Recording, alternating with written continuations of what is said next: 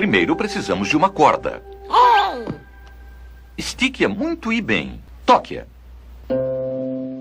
Agora divida ao meio e toque novamente. Ouviu?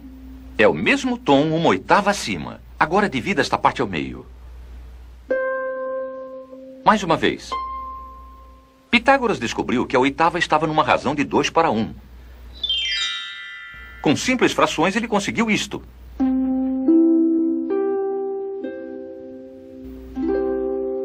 E a partir dessa harmonia e desses números, elaborou a escala musical que é usada até hoje.